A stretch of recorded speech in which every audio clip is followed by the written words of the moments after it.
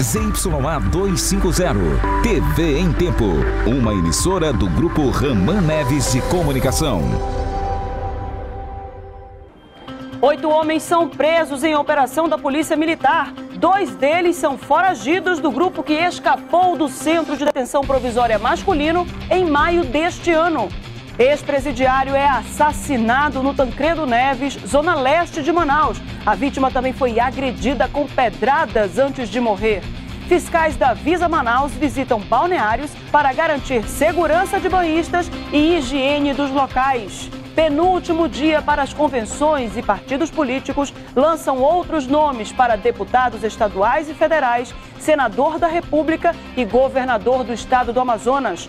Número de mortes por acidentes envolvendo veículos de duas rodas aumentam em Manaus. E ainda, projeto Atletas com Cristo ensina diversas modalidades esportivas a jovens em vulnerabilidade social. O Jornal em Tempo deste sábado já começou.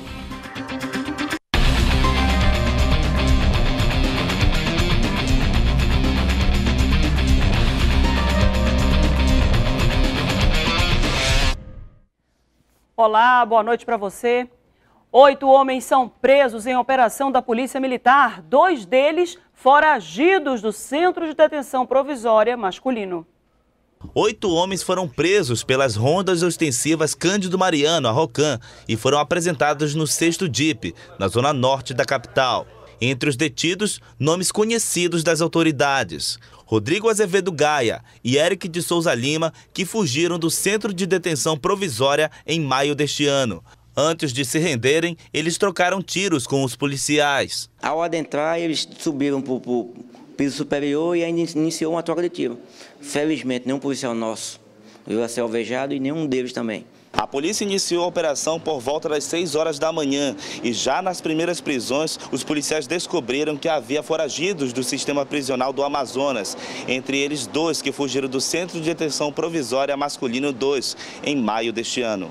Nós recebemos várias informações no WhatsApp denúncia, informando do tráfico no mutirão, deslocamos todo o nosso pelotão para fazer uma incursão lá, já conseguimos fazer a captura de três elementos que bateu com as informações que eles faziam parte de uma facção criminosa e com a, a, as diligências, verificamos a ligação deles com alguns foragidos do CDP-2 e alguns foragidos de outra operação do DRCO. Além dos dois foragidos da Justiça, os policiais prenderam também José Valdir de Souza Costa e Eliel Benarros Milomé, investigados por terem participado do triplo homicídio em um sítio na estrada de Balbina, região metropolitana de Manaus.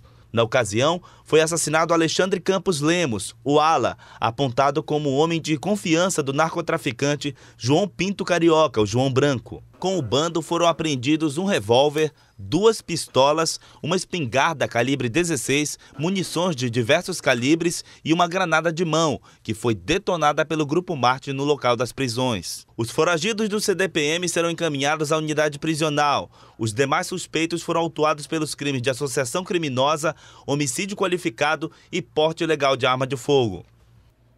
E hoje, seis mulheres foram flagradas tentando entrar com drogas nas partes íntimas em presídios da capital. Elas foram descobertas depois de passar pela revista no Body Scanner, aparelho que faz um raio-x corporal.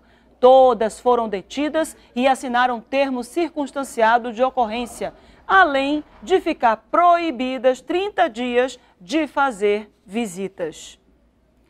E o número de mortes por acidentes envolvendo veículos aumentou em Manaus. E nessa violência toda do trânsito, a maioria dos sobreviventes não consegue voltar ao mercado de trabalho por conta de lesões graves. A moto é o veículo que mais mata no trânsito de Manaus. Até junho, foram 114 mortes, aumento de 3% se comparado ao mesmo período do ano passado. Segundo este doutor em engenharia de transporte, a pressa de quem está sob duas rodas ainda é o principal causador dos acidentes. É um, é um veículo que exige um comportamento muito cuidadoso para ser utilizado, não só de quem está é, pilotando a moto, mas inclusive dos outros veículos de quatro rodas que tem que proteger essa população no trânsito. Segundo dados do DPVAT, que é o seguro para acidentes causados por veículos automotores, em 10 anos foram pagas 230 mil indenizações apenas para motociclistas, somente na região norte. O seguro foi principalmente para pessoas que sobreviveram, como é o caso do Maicon. Em dezembro de 2016, ele havia saído do trabalho e foi atropelado. Ele estava na garupa de um mototáxi. A indenização mal deu para pagar os medicamentos. Um ano e meio depois do acidente, ele ainda está fora do mercado de trabalho, sobrevivendo pelo INSS. Porque por uma imprudência eu passei sete meses na cadeira de roda, sem andar. Sete meses. Ainda estou na fase ainda fisioterapia, ainda estou pelo INSS ainda. Só que é um, é um sacrifício tá assim. Para o especialista em transporte, a única maneira de ver o número de acidentes diminuir em Manaus passa pela educação de trânsito e principalmente pela punição ao desrespeito nas ruas da nossa cidade. Multa, multa, tem que pesar no bolso, porque a parte mais sensível uh, que o cidadão sente é quando chega no bolso. É verdade. E o calor intenso aumenta a procura por balneários. E para garantir a segurança dos banhistas e a higiene dos locais, fiscais da Visa Manaus visitaram alguns balneários na capital banhistas também precisam estar atentos aos cuidados. É no período de verão que os balneários dentro e fora da área urbana são mais procurados. Com as altas temperaturas, tomar um banho é a solução para muita gente. Mas é preciso cuidado na hora de escolher o local para passear e se refrescar junto com a família. Para fiscalizar os serviços oferecidos nesses locais de lazer, a Vigilância Sanitária de Manaus visitou na manhã de hoje alguns balneários da capital. A gente orienta as pessoas a escolher um local que tenha licença sanitária, uma piscina que tenha um tratamento adequado da água, com os ambientes de apoio, né, com as instalações sanitárias, banheiros, que, né, que possam ser utilizados de forma correta, que a pessoa utilize e não venha contaminar a água. Assim mesmo como, como lanchonete, né, que as pessoas também fazem refeições por aqui, a gente, a gente verifica todas essas situações né, que possam é, correr risco para a saúde das pessoas. Neste estabelecimento não foi encontrado nenhuma irregularidade. Para Rildo, a fiscalização é importante, porque além de trazer conhecimento educativo, traz segurança à saúde dos banhistas. É um papel importante, né? Da, desse, desse órgão, né? Essa, esse acompanhamento, a questão de saúde pública. As blitz educativas da Visa Manaus se encerram amanhã com uma ação no complexo da Ponta Negra.